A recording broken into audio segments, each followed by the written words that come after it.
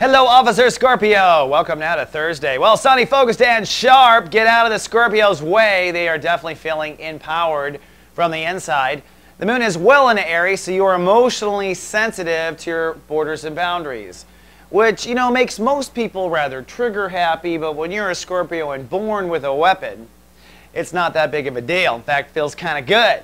So I think you're feeling pretty good because you can sense everything around you. It's that force nature that you have. I'm talking about Star Wars force to sense if there's something wrong or a disturbance in it.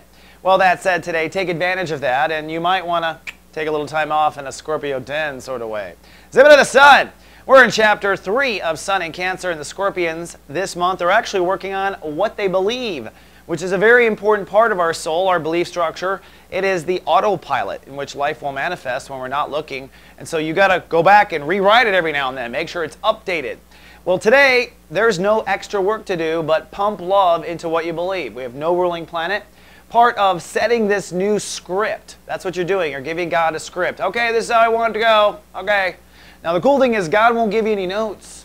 Actually, your guides will if you meditate. But the universe won't give you any notes. The universe will just run the script.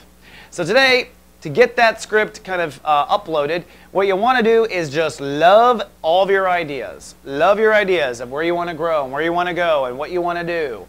Love what you believe. Love all of that. Oh, I just love this. I love this topic. I love Russian history. Love it. By loving it, you're pumping God consciousness into it, and that is what draws in that reality. That is what uploads the script. And we got Sadika Salter, our renegade aromatherapist, live today. Sadika is here to talk about how planet Earth loves you, and that is through the plant queendom. That's right, the plants giving us and growing energies that we consume. This is a nice thing of them to do, to give their life for us to eat. Ever thought about that? Well, they are alive, and she's going to talk about it. She's live everywhere Soul Garden streams. All right, officer, that's all I have for the day. Tomorrow, your full weekend forecast. Until then, live, love, be. So